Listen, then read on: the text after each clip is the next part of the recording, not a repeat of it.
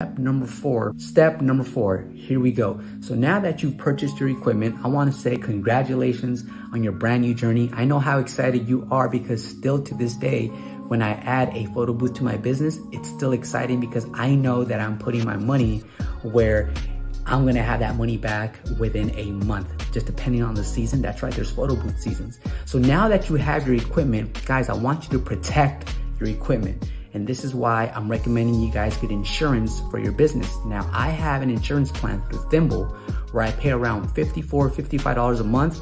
And that includes a 1 million liability coverage. This also includes my equipment being protected if it gets damaged uh, from point A to point B.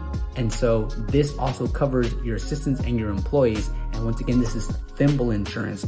I want you guys to check out Thimble Insurance and get a rate for your state to see how cheap it's going to be for you. Now, another thing you guys can do is if you have insurance already, say for example, like house insurance, uh, renter's insurance, or any type of insurance, check with your current insurance provider and ask them, hey, do you guys also offer business insurance? I'm a photo booth business and I would like to insure some of my equipment. So I recommend you guys do that as well. Always get a second, third quote just to make sure you guys are getting the best rates, the best deal, the best bang for your buck. But I'm gonna go ahead and place the Thimble link in the description box below. That'll take you directly to Thimble and you guys can get a quote. All right, I've been rolling with Thimble for the, the whole life of my photo booth business. Cool, protect your equipment. All right, guys, welcome back now.